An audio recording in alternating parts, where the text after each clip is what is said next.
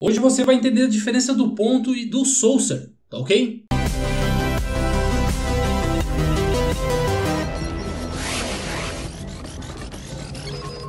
Então fala galera, Isaac Jeff aqui. fala galera, Isaac Jeff aqui, seja muito bem-vindo a este canal. E hoje eu vou te apresentar a diferença do ponto para o source. Eles têm uma diferença somente. E a diferença é que um é portável e o outro não. Você sabe aquele ponto quando você vê nos scripts?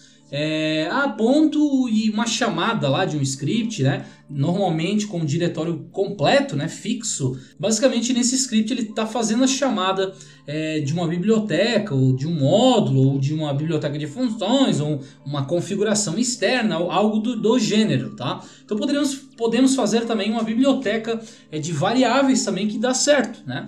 O que acontece? Qual é o processo que acontece no back aí, né, no back do script do shell? É, basicamente ele pega é, um arquivo externo e joga para dentro do processo atual, ou seja, ele não abre uma subshell, um subprocesso. Porque subprocessos são lentos, né? Então você já sabe que não deve ficar abrindo subshells é quando não são necessários. Porque isso é lento, né, cara? Se a gente ficar abrindo muitas subshells, é, torna o programa mais lento, né, velho? E você não quer isso, você quer um script totalmente rápido, né? Então é isso que a gente vai aprender hoje, como vamos fazer esses lançamentos aí, bem legais, né? Então vamos lá pro terminal e agora que começa uma magia bem massa, porque é, o meu Cadenlive vai entrar em ação. Né? Ok, estamos aqui no terminal, como você pode ver. e vamos então criar um script, né? Na verdade, dois pra gente entender essa, essa, esses caras. É, mas primeiro vamos criar um, né? Para começar aqui a brincadeira certa. Né? Então eu vou botar o nome do script como on.sh. Esse script basicamente não vai fazer nada, tá? Porque é, não quero que faça nada. Ele vai só imprimir alguma coisa. Vou pôr umas variáveis aqui, ó. É var. Por exemplo, vamos botar aqui um negócio bem louco. Echo. Nossa, bem, bem difícil, né? Oi, tudo bem com você? É, comigo também, né? É, comigo está tudo bem, tá? Beleza? Então, basicamente ele imprime na tela, né, cara? É só isso que ele faz. É, ultimamente eu ando meio preguiçoso para fazer programas. Né? É, só se cobra. Então, beleza, ele imprimiu na tela ali via stdout standard output, né? Já sabemos disso.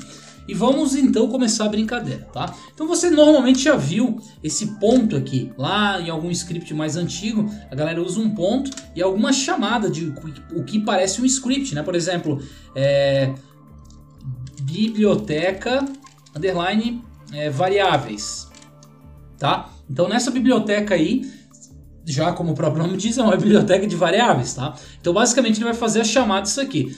O, o pessoal usava muito antigamente esse, o ponto e barra, né? Isso seria é, a chamada de um script. Mas não tinha muita lógica fazer isso. Por quê? Porque um, além de ele abrir uma, um subprocesso, é, não tinha muita lógica. Eu, eu, vi, eu vejo o pessoal usando isso ainda. Não tem lógica fazer isso. Se você quer fazer uma biblioteca, módulos é, externos, arquivos de configurações, você tem que fazer é, com um ponto assim, ponto, espaço e o nome da biblioteca, o módulo, ou com saucer, tá? Então ambos são iguais aqui, tá galera? Ambos vão gerar o mesmo o mesmo processo aqui, né? A diferença é que o saucer aqui é, não, é, não é portável para outros shells, né? E o ponto ele é portável por se derivar lá do Born Shell, né, de 1976, né, o Born Shell, tá? Então ele, ele é, o ponto é portável e o Saucer já não. E também no LPI eles pedem o Saucer, né? Então, mas você já sabe que o ponto ele faz a mesma coisa, porém ele é portável. Agora você está sabendo, tá? Vamos deixar só um comentário aqui vamos abrir um outro cara aqui, tá? Biblio, biblioteca underline variáveis, tá? biblioteca de variáveis. Não vou botar shebang porque não há, não há necessidade disso. E vou criar aqui name, maiúsculo, é version e autor, tá? Igual, igual, igual. Vou botar name aqui do programa. É qualquer coisa.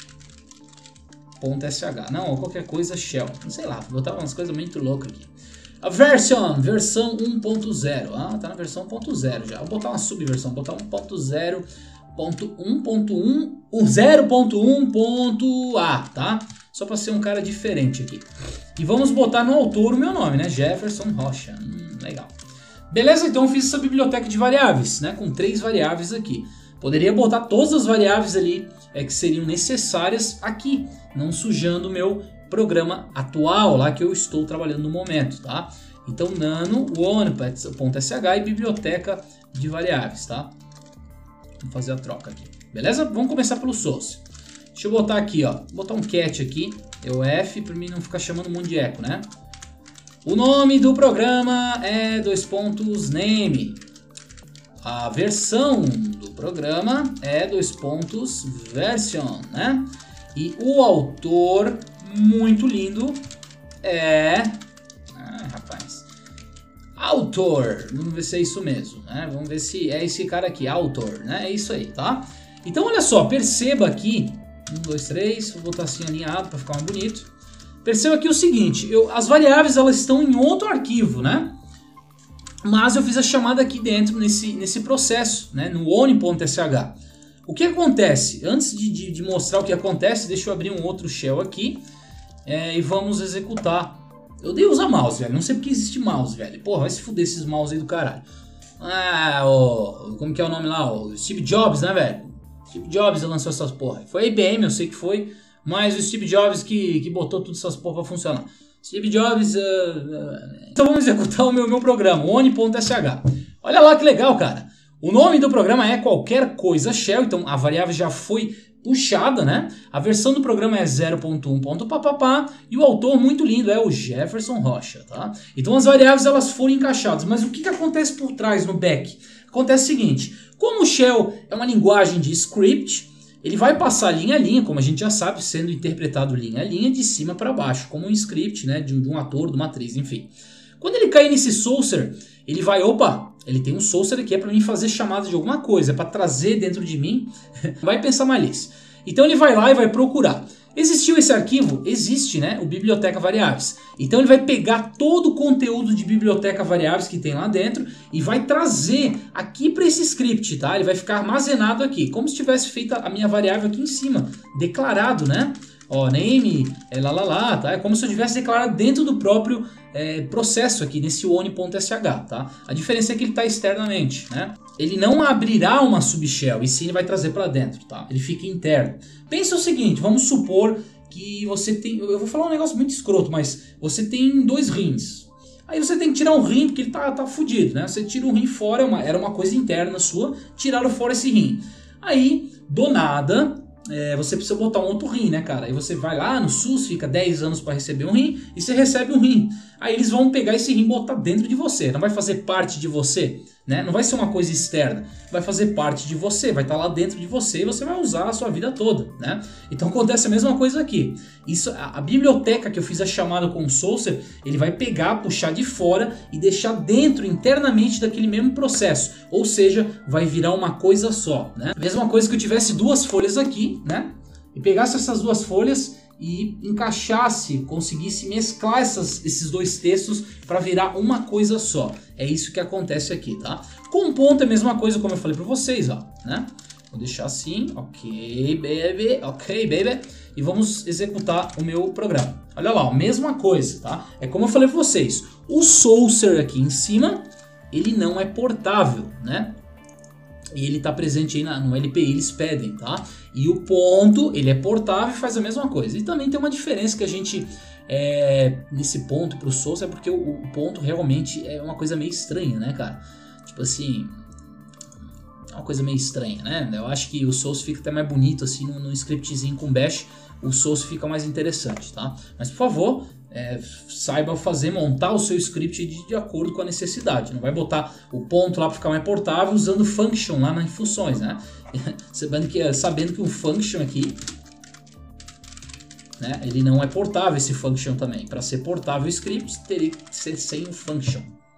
Fechou? Mais uma dica aí envolvendo no mesmo vídeo, tá? Tem gente que fala que usar esses dois caras, né, o Saucer e o ponto, é uma coisa desnecessária. E isso deixa o, o programa em Shell mais profissional. Por exemplo, a gente pode botar é, arquivos de configurações externamente, variáveis, funções, tudo externamente, fazer várias bibliotecas, tá?